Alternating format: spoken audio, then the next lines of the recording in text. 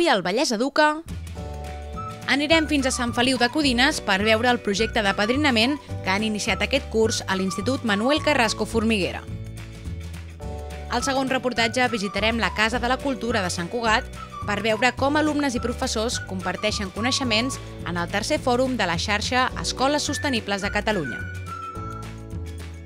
I tancarem el programa visitant l'escola El Farell de Caldes de Montbui per veure com celebren la Setmana de la Ciència.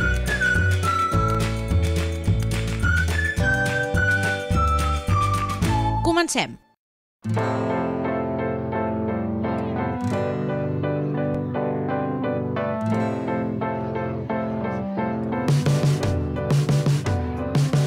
Obrim el programa visitant l'Institut Carrasco i Formiguera a Sant Feliu de Codines per conèixer el projecte de padrinament que han posat en marxa aquest curs.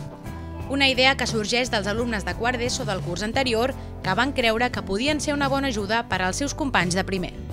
El nostre projecte de centre està molt basat en el que és l'atenció i l'acompanyament individualitzat de, de l'alumne. Des de fa anys ja fem el que és la tutoria individualitzada i els alumnes doncs, tenen un professor tutor i aleshores el projecte permanentment doncs, neix de la idea de poder doncs, millorar encara més aquesta, aquesta atenció. Consisteix en que un alumne de quart acompanyi amb un de primer.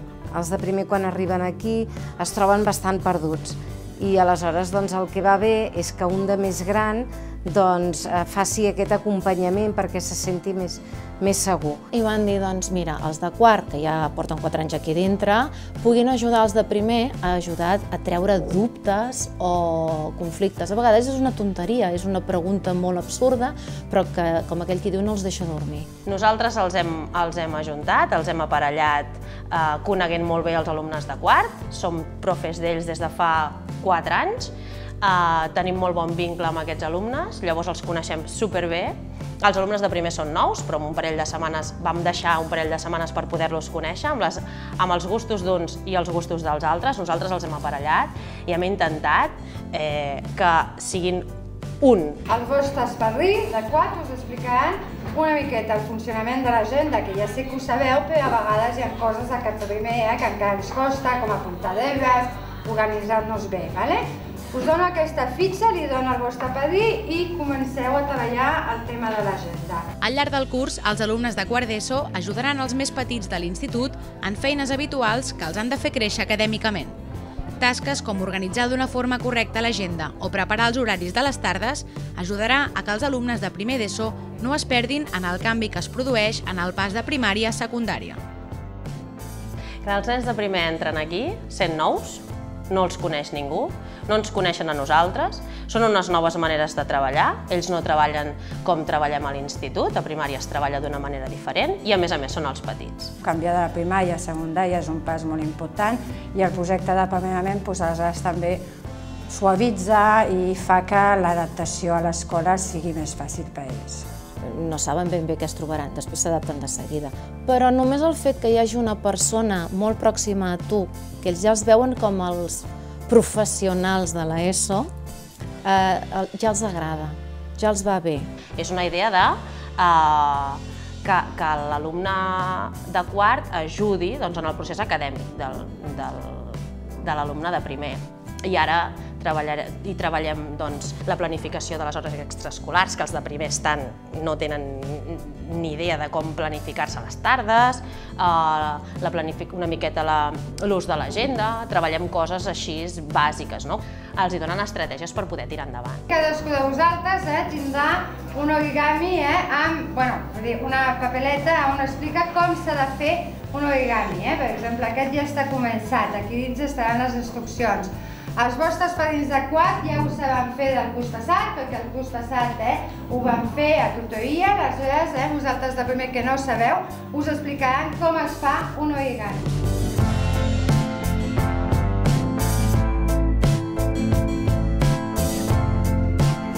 A banda de les feines habituals, els alumnes de primer i quart realitzaran activitats conjuntes al llarg de l'any. Ara al novembre estan realitzant un projecte d'origamis per vendre i donar els beneficis a la Marató de TV3. Aquestes feines rutinàries i puntuals obliguen que els alumnes de quart es responsabilitzin dels seus companys de primer. pels alumnes de quart és com un repte. Tenen el repte doncs, de ser els grans, de ser l'exemple i clar, ells aquí són els grans, sempre han estat els grans, els de quart, però no han necessitat eh, fer-ho bé perquè, total, no? són alumnes i ja està, aquí els adults som nosaltres. Ara ells són uns preadults que han de fer-ho bé tot perquè si no els seus tutorants petits doncs diran, ostres, el meu alumne, el meu tutor ha fet això i no ho hauria de fer. No? També havíem pensat doncs, donar-los doncs, més implicació dins del funcionament del centre. Aleshores, fent aquest apadrinament, com són padrins i tenen aquests fillols, doncs, ja estan obligats, doncs, com tu deies, a ser més responsable, a treballar també doncs, qualitats com l'empatia, saber escoltar, i també doncs, d'aquesta manera, com és el seu últim any, doncs, fer un referent positiu cap als alumnes de, de primer de l'ESO. Els de quart se senten ells responsables eh? i de dir, doncs, eh, aquest alumne, ara per exemple, l'activitat que estan fent, doncs va sentint els comentaris que van fent i és que semblen persones adultes, eh? de la manera que els aconsellen. I el que també va bé és que els de primer veuen que són una responsabilitat pels de quart. Això també ho han vist els de primer tots sols. Pels de quart, a veure, si tu has de donar exemple, has de donar exemple. Primer t'has de fer una crítica de què és el que fas tu. Per exemple, l'horari que feien avui. L'han estat fent amb els de primer. Però abans hi ha una reflexió i el teu horari quin és? El projecte d'apadrinament també contribueix a un millor funcionament del centre educatiu, ja que és una eina excel·lent per la gestió de petits conflictes, podent trobar solucions entre iguals sense presència del docent i, a més, ha ajudat a tenir uns alumnes motivats. Ells, els nostres alumnes de quart, han evitat algun petit conflicte, eh? que ells, el, el nen de primer li ha comentat al seu tutor, el tutor ha parlat amb un altre tutor i ells ho han resolt, sense passar pel profe, que és la idea. Nosaltres la idea és que ells mateixos, els grans, gestionin els problemes dels petits. Si són grans problemes, ja arribaran a nosaltres. I si això no ho poden gestionar ells, ja arribaran a nosaltres. Ho han rebut d'una manera molt, molt positiva tant els de primer com els de quart. El primer dia estava molt nerviós quan vam fer la primera activitat, sobretot per saber quina era la seva paella, perquè al principi els de primer no ho sabien, es va preparar tot des de les tutories de quart, i bueno, doncs hi havia aquests nervis de saber qui és el meu padrí, com serà, i han fet, en general han fet un vincle molt positiu i molt bo. Tenir un referent gran és super, és, és super motivador per ells. No? El referent, aquest és el meu tutor de quart, és bueno, mm, és el seu mirall, ells s'emmirallen amb el tutor i llavors doncs, a, banda d'emmirallar-se, el tutor els ajuda, doncs, si tenen algun problema eh, van al tutor i els hi resol. A més a més, els nens de primer ja diuen jo quan arribi a quart vull ser tutor o tutora d'un eh, nen de primer ells mateixos i els de quart estan molt il·lusionats. Ara, quan els hi hem dit doncs, de fer la segona activitat, supercontents eh, també una mica nerviosos, és clar, però contents, molt contents, i esperen la propera activitat. Ens acomiadem dels alumnes de l'Institut Carrasco i Formiguera, desitjant que continuïn amb aquesta feina conjunta que és tan beneficiosa. Fins aviat!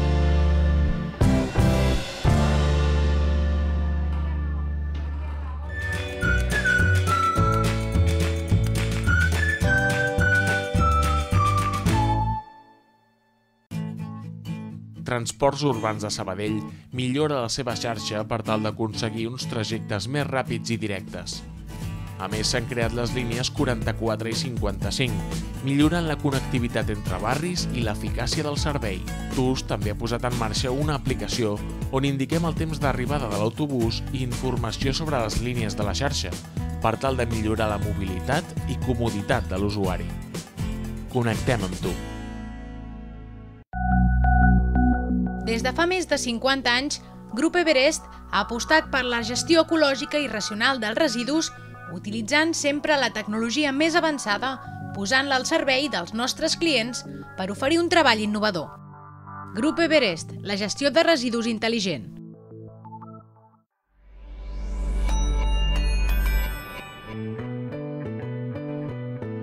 I Sabadell és informació. És imatge i vídeo. És implicació. I Sabadell és interactiu. Imaginatiu i independent. Ahir Sabadell volem sumar. Inclou-te. Sabadell, ahir Sabadell.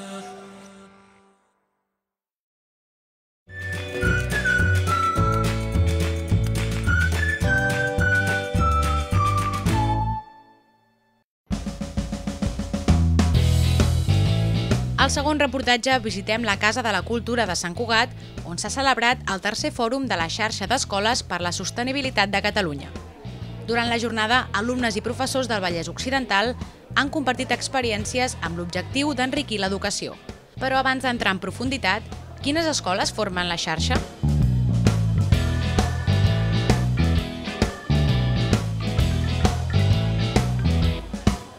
Són eh, escoles que tant poden ser centres de primària, d'infantil, de secundària i escoles bressol que opten perquè el medi ambient i la sostenibilitat sigui un projecte de centre. Llavors, les escoles que han pres aquesta decisió en, el seu, en la seva organització, en el seu funcionament, en, en el treball curricular que fan, el que han decidit també és compartir la seva experiència amb altres escoles. És un fòrum, és una, el tercer fòrum de la, de la xarxa d'escoles per la sostenibilitat de Catalunya, que està dedicat al Vallès Occidental i a secundària. O sigui, és un fòrum parcial de totes les trobades que promou la, xar la xarxa d'escoles per la sostenibilitat de Catalunya, que són una agrupació dels, pro dels programes Agenda 21 escolar eh, municipals i Escoles Verdes de la Generalitat de Catalunya. La idea de fer els fòrums, enguany a Sant Cugat i altres anys en altres llocs, sempre ha sigut de fer que els alumnes de diferents escoles verdes, de, de diferents centres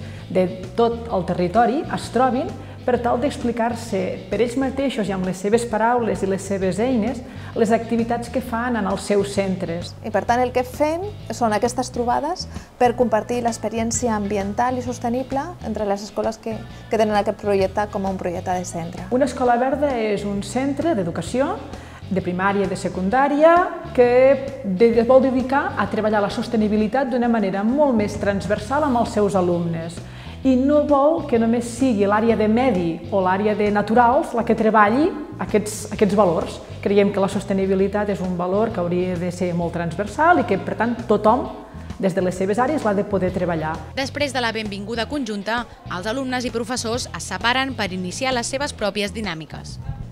Els joves dels diferents instituts han de presentar i defensar els seus projectes davant la resta de companys. Amb solament aquesta experiència, els alumnes ja s'enriqueixen educativament parlant.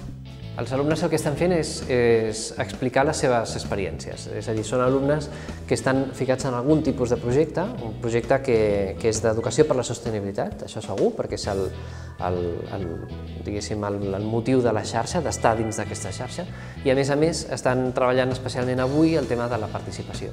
Ho fem de forma més dinàmica, amb una dinàmica primer de cooperació, per trencar el gel, perquè es coneguin, perquè clar, no, no es coneixen, alguns són més petits, són de primer d'ESO, altres són de quart d'ESO, llavors aquesta diferència d'edat també l'hem de eh, gestionar una mica perquè tothom se senti còmode i després ja comparteixen els propis projectes. Projectes que són d'educació per la sostenibilitat d'algun institut que, que van del tema de la participació o enfocats des de la participació és el que l'alumnat està intentant intercanviar. Llavors s'expliquen, s'expliquen les seves experiències. El fet de que l'alumne s'hagi de desplaçar i que tingui davant seu altres companys i que sigui real, és com tot molt més tangible i també el, el situa en una posició més real. Ha de comunicar realment i veu la cara de l'altre quan li comuniqui allò i veu si s'entén, si no s'entén, si agrada, si no agrada. Però al mateix temps que els joves fan les seves dinàmiques, els professors participants també comparteixen les seves experiències. Amb aquest treball dels docents s'aconsegueix posar en comú els projectes, quines dificultats es troben i com es poden millorar. D'aquesta manera, el professor se sent recolzat i motivat per continuar tirant endavant el projecte. El professorat també descobreix que hi ha molta gent que també estan, a vegades de manera solitària dins dels seus propis centres, tirant endavant algun projecte i necessiten compartir molt tot el que és la seva professió, o sigui, tota l'organització del professorat, com ens ho hem fet per poder fer alguna que no estava previst i que nosaltres ens hem tirat i ens hi hem abocat, no? Veure companys que tenen altres dificultats i veure com les superen o poder ajudar a superar-les, tenir una idea que l'altre no troba i que tu potser tens, és altament enriquidor. Quan venen aquí se senten motivats, reforçats i recolzats, perquè veuen que en, en altres centres les situacions poden ser similars. Però sobretot el que és important és que surtin amb eines perquè quan tornin puguin treballar aquesta solitud, perquè al final el que és important és que altres companys també formin part del projecte. Fins al punt de que et pots fer canviar una activitat que donaves com a sentada i que creies que era prou, prou bona per si sola i t'hi donen un tom i dius, ah, doncs mira, puc afegir-hi aquesta idea i realment serà encara més enriquidora per l'alumnat. Durant tot el reportatge, igual que en les sessions, la paraula clau és compartir, un concepte capdalt als fòrums i que ha de repercutir en millorar l'educació. I aquest és el sentit de les trobades tant pels professors com pels alumnes que s'han reunit a Sant Cugat. Les institucions que tenen al seu càrrec doncs, promoure educació ambiental doncs sempre, sempre han d'anar compartint moltíssim tot el que fan, perquè si no és, eh, tothom estem per sota del, de les possibilitats de desenvolupar tots els projectes d'educació ambiental possibles. No? I l'única manera de, de fer-ho és compartir amb companys amb, amb altres municipis, compartir què és, el que, què és el que fas. Jo crec que per les escoles el més interessant és veure què fan els altres, reafirmar-se en el que estan fent ells i aprendre eh, què poden millorar respecte al que estan fent. Ens va molt bé tenir una xarxa, i no només a l'escola o a l'institut, sinó a la ciutat. Les xarxes el que fan és fer xarxa entre els diferents centres de la ciutat. Ara estem fent un fòrum de tota la comarca, però això cada mes ens trobem als centres de tots els seminaris. Perquè les experiències a vegades són molt locals i està bé que sigui així, perquè hi ha un, un arrelament al territori, no? Però, si, però és el moment en què, en què pots compartir quan, quan, quan s'enriqueix, tot el, tot el programa que hi ha darrere d'aquests projectes. No?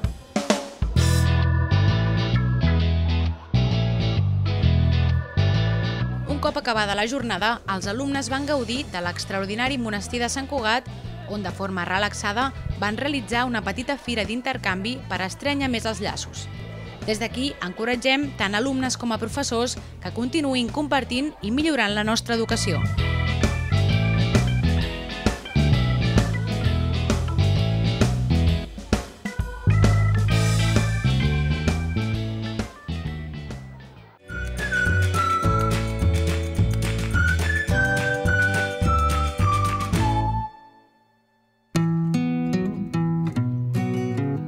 Tanquem el programa d'avui apropant-nos a l'escola al Farell de Caldes de Montbui en plena Setmana de la Ciència.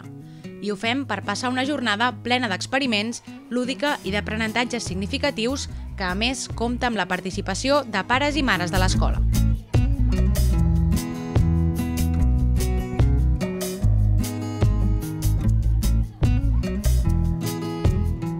Des de fa cinc anys, com a escola, ens hem afegit al, al, a la Setmana de la Ciència i aleshores, des de l'escola, el que volem treballar amb els nens és intentar apropar-los i, i potenciant una mica la part científica i el seu esperit científic a través d'experiments. Ho repartim en dos dies. La meitat de l'alumnat ho fa avui i demà ho fa l'altra meitat de l'alumnat. És una mica per qüestió d'espais. Llavors, el que fem és preparem uh, diferents activitats científiques perquè tots els alumnes puguin treballar i puguin manipular. El fet de celebrar d'alguna manera el Dia de la Ciència o la Setmana de la Ciència durant aquesta, en aquest cas, doncs, aquesta setmana de novembre, ho trobo molt positiu pels nanos, sobretot, o sigui, és una manera fantàstica de fer arribar la recerca en general i el coneixement, de fet, no? I, i les ganes per aprendre i saber de, uh, cap als nanos. No? Ajuntem els nens a nivells intercicles, o sigui, per exemple, els d'infantil estan barrejats nens de P3, P4, P5, Uh, els, de, bueno, els grans, els de cicle superior, estan barrejats 5è i 6è i fan diferents activitats. Fem un muntatge de grups on els nens estan barrejats, no diferenciem de classes ni, ni de grups, i tot el cicle està barrejat en, en petits grups, uns 10 nens aproximadament. I aleshores van fent rotacions, van passant pels diferents experiments. La participació dels pares i mares en les jornades de la ciència ajuda a que els nens i nenes sentin aquests dies com si fossin més especials. A més, d'aquesta manera, l'escola s'obre i aprofita, en la mesura del possible, els especialistes que té a la seva comunitat educativa. Precisament la comunitat educativa no la formem moltes persones i ens agrada que els pares i les famílies puguin no, formar part també de, de l'escola i siguin els mateixos qui ens aportin tots els seus coneixements. Ho fem no només a la Setmana de la Ciència, sinó que sempre que hi ha oportunitat ells puguin venir a, a participar-hi. El fet que vinguin els pares a l'escola fa que la jornada sigui i que els nens ho visquin de manera molt més oberta i molt més interessant. No és el mateix que estiguem nosaltres sempre fent la classe com a referents i el fet de convidar els pares és perquè, o sigui, són especialistes en un camp. Per nosaltres també és molt maco de, de poder-los transmetre doncs, eh, el, el que és un científic, fer, intentem eh, fer-los veure que l'important que és, per exemple, la curiositat no? dintre, de, dintre de la ciència. Els fem fer moltes preguntes i que ens preguntin coses i nosaltres sempre és una experiència molt agradable. Aquesta escola, en aquest cas, la veritat sempre ens ha fet molt partíceps no? de, de, de la vida a l'escola. No? Jo crec que això és, és, és molt important, tant sigui la Setmana de la Ciència com sigui el dia de Sant Jordi o la Castanyada, no? perquè això t'acosta molt als, als mestres, que són els que passen tantes hores amb els teus fills. No? Per tant, obrir les portes als pares per aquest tipus d'activitats jo crec que és un encert total. No? El fet que puguin participar els pares ho viuen diferent. Ells eh, ho gaudeixen, veuen com que aquella persona és com l'especialista de lo que t'està explicant i, i sí, sí, en general ho valoren molt bé. Penseu que inclús d'aquí a 4 anys se'n recorden de lo que els hi van explicar aquests pares. Acabem molt cansats perquè normalment fem dos dies seguits i diversos cursos i, i quan s'acaba estem allò esgotats, però també molt feliços de, de veure també com interaccionen els nens. Després de posar-hi els 120 mil·lilitres, Kilian, agafareu el sabó líquid, sí? I posareu un bon grapat, potser no 100, però 50 mil·lilitres a sobre, sí, per tant haurà d'arribar més o menys fins als 100, 170.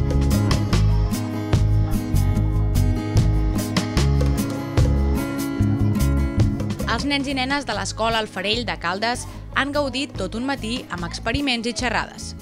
Uns de més senzills, d'altres més complexos. Però tots ells amb un punt en comú, que siguin divertits, manipulables i que els aportin aprenentatges.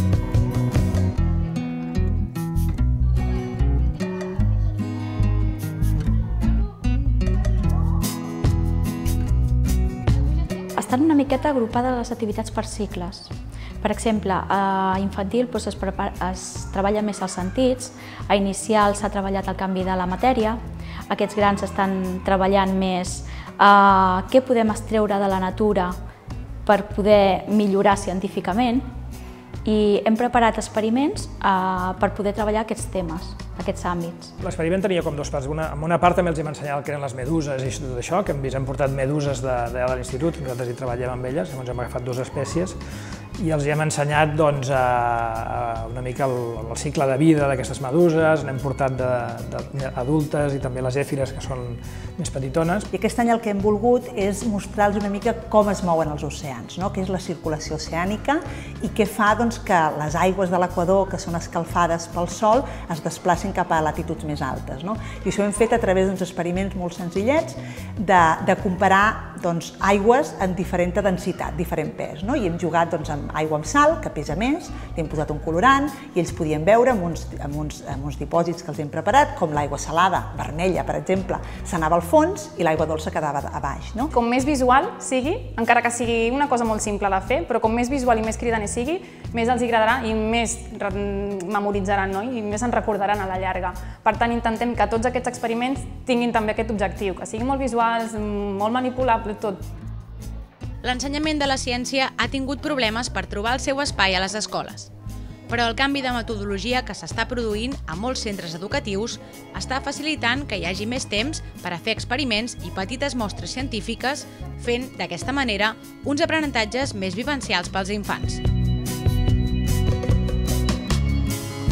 Potser és una mica com la part oblidada, no?, les escoles. Sí que ha prima molt amb les matemàtiques o la llengua, el medi i la ciència vam trobar la necessitat d'aplicar-la a les aules d'una manera molt lúdica pels nens, pel fet aquest, no? d'apropar-li la ciència i que ells la veiessin com una cosa quotidiana. I creiem que la millor manera de fer-ho o una manera complementària de fer-ho és partir doncs, això de l'experimentació, de la motivació dels nens i, i partir d'això, de, dels seus interessos. Penseu que avui, per exemple, hem realitzat una sèrie d'experiments. No?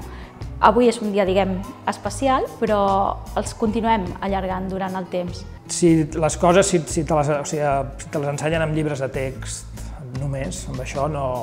Vull dir, pots aprendre uns continguts i tal, però no, no és el mateix com aprendre-ho tu de primera mà. Llavors, poder fer un experiment poder, el que hem estat fent avui, no? de barrejar aigües més denses o men menys denses amb aigua salada, aigua dolça, aquest tipus, amb colorants, etc.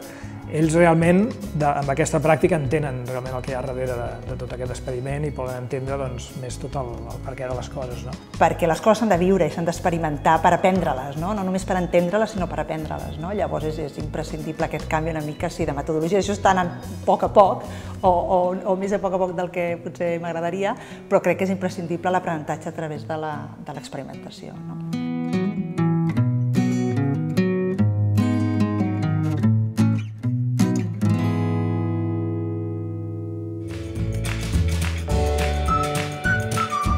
Amb aquest últim reportatge ens acomiadem fins la setmana vinent per conèixer més projectes educatius, aquí, al canal Terrassa Vallès.